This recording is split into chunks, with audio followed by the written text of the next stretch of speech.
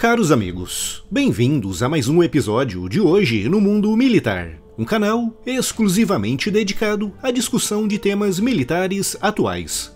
Neste vídeo falaremos sobre uma reviravolta no caso da demissão do Capitão Crozer do comando do porta-aviões USS Theodore Roosevelt, com muitos setores da Marinha Americana recomendando o seu retorno ao comando da embarcação. A Absoluta é uma empresa especializada na criação de sites que funcionam perfeitamente em celulares e marketing de redes sociais. Se a sua empresa quer um novo site que traga resultados ou entrar forte em mídias como Facebook e Instagram, entre em contato com a Absoluta Propaganda e Marketing. Os links e os meios de contato estão todos aqui na descrição. No dia 30 de março, uma carta assinada pelo Capitão Crozer, na época o comandante do porta-aviões nuclear USS Theodore Roosevelt, foi publicada por um jornal de São Francisco, na qual ele alertava a Marinha para que tomasse medidas urgentes para conter a rápida propagação do novo coronavírus entre membros da sua tripulação.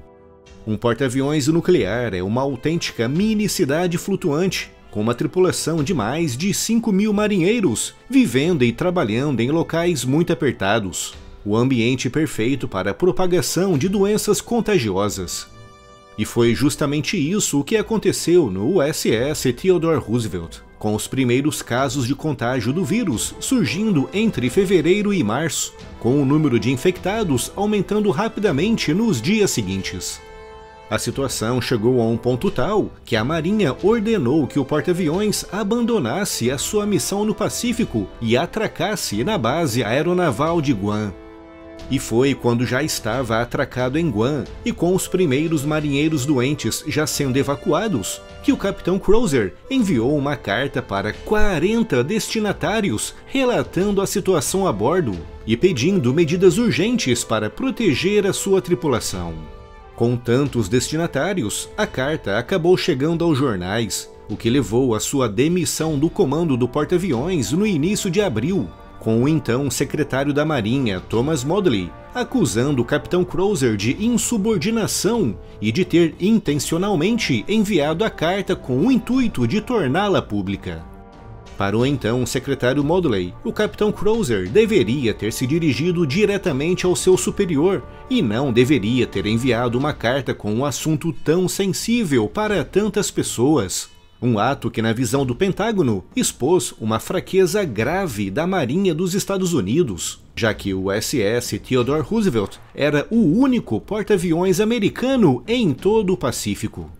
O então secretário Modley disse, pouco tempo após exonerar o capitão Crozer, que a carta colocou em risco não só a sua tripulação, mas também as tripulações de outros navios da Marinha no Pacífico, já que revelou um estado momentâneo de fraqueza. E todos nós sabemos muito bem que, a semelhança do mundo animal, revelar fraqueza no mundo militar pode ser catastrófico.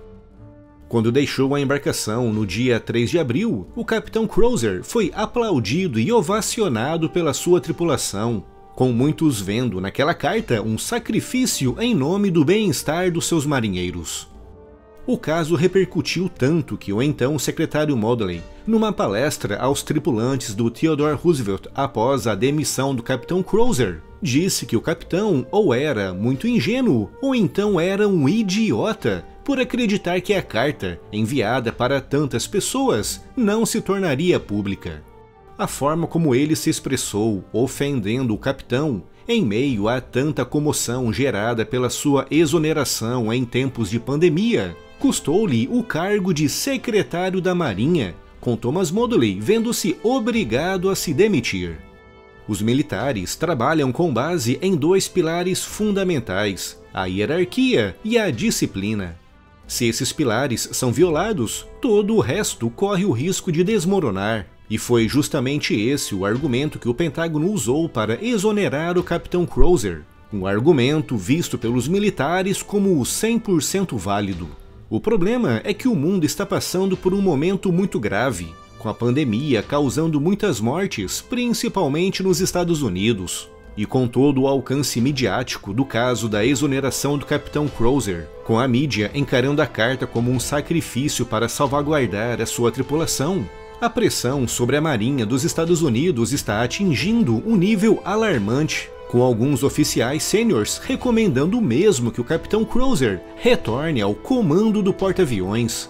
Uma decisão que, se for tomada, será extremamente rara, já que normalmente um comandante exonerado não retorna ao comando da sua antiga embarcação. De acordo com algumas fontes, com o moral dos marinheiros do porta-aviões em baixa, o retorno do Capitão Cruiser ao comando elevaria esse moral, acelerando o regresso da embarcação à sua missão no Pacífico.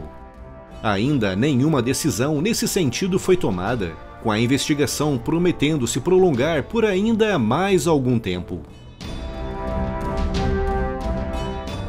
Na loja do canal você encontrará produtos incríveis, feitos especialmente para os amantes do militarismo. E além de adquirir produtos de qualidade, você estará apoiando diretamente o projeto do Hoje no mundo militar. O link da loja está aqui na descrição.